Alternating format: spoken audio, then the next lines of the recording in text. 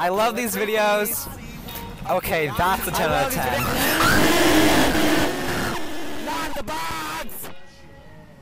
Okay, Okay, that let's was get good, guys.